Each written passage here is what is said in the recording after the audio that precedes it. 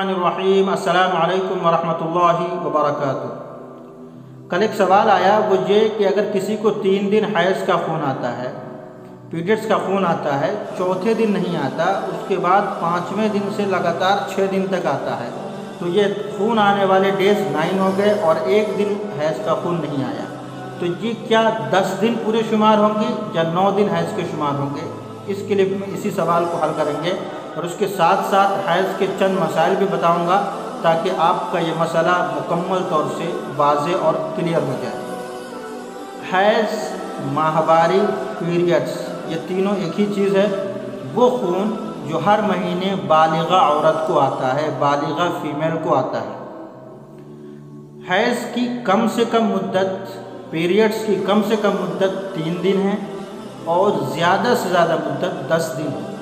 तीन दिन से कम आने वाला खून इस्तिहाज़ा का खून है, हैज़ का खून नहीं है। और इसी तरीके से दस दिन से ज़्यादा आने वाला खून इस्तिहाज़ा का खून है, हैज़ का खून नहीं है। इस्तिहाज़े में नमाज़ माफ़ नहीं है। हर नमाज़ के लिए नया वज़ू करना है और अपने बदन और कपड़ों को पाक और साफ़ करना है। उसके बाद उस वक्त की नमाज़ पढ़नी है।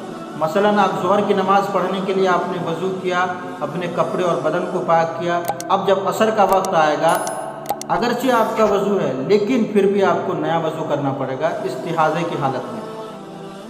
यह तो क्लियर हो गया। अगर किसी औरत को पाँच दिन हैज़ का खून आता है हर महीने, लेकिन इस महीने में या किसी महीने में उसको छः दिन या सात दिन हैज़ का खून आ गया, आठ दिन आ गया, नौ दिन आ गया, दस दिन आ गया तो अब उसके हैज़ के डेज़ कितने शुमार किए जाएँगे? तो उसके हैज़ के दिन, दस दिन के अंदर अंदर जितने दिन भी आएँगे, वो शुमार किए जाएँगे। कभी कभी आदत जो होती है, वो चेंज हो जाती है। कभी कभी पाँच दिन आएगा, कभी छः दिन भी हो जाते हैं, कभी सात भी हो जाते हैं, कभी चार भी हो जाएँगे, कभी तीन भी। तो ये जो बदलते रहते हैं कभी कभी वक्त के हिसाब से, या बॉडी के टेम्परेचर के हिसाब से भी इसके अंदर तब्दीली आती है। अगर किसी को पाँच दिन आने की आदत है, हर महीने उसको पाँच दिन आते हैं खून और इस महीने या किसी महीने में उसको दस दिन से ज़्यादा आ गया। तो अब उसका जो असल है, वो पाँच दिन है इसका शुमार होगा। बाकी जो डेज़ आएँगे जितने भी, वो पूरे के पूरे जो है वो इस्तेहाज़ा का खून इस्तेमाल किया जाएगा।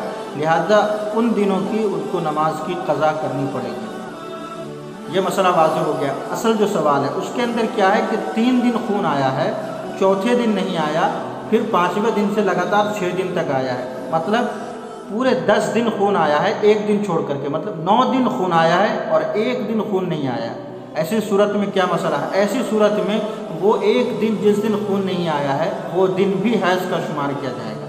तीन दिन के बाद से लेकर के दस दिन तक जो भी खून आएगा, चाहे बीच में रुक रुक कर आए, एक एक दिन, दो दो दिन करके रुक रुक करके आए, वो मुकम्मल हैज़ का ही शुमार किया जाएगा। दस दिन से ज़्यादा बढ़ गया तो इस्तेहाज़ा हो जाएगा और तीन दिन से कम हो गया तो इस्तेहाज़ा हो जाएगा। हैज़ के टाइम में नमाज़ माफ़ है आपकी, रोज़े की कज़ा करनी पड़ेगी उम्मीद है कि आपका ये मसला वाज हो गया होगा, क्लियर हो गया होगा। क्लिप को ज़्यादा से ज़्यादा लोगों तक पहुँचाए शेयर करें ताकि उन तक भी ये सही मसला पहुँच सके।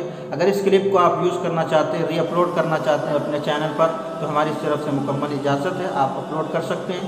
यूट्यूब पर जाकर अफसर विज़न को सर्च कीजिए और वहाँ से हमारे चैनल को सब्सक्राइब करें, बेल आइकन को प्रेस ज़रूर करें ताकि हमारी हर आने वाली वीडियो सबसे पहले आप तक पहुँचे। दुआओं की दरख्वास्त है। असल वरहमल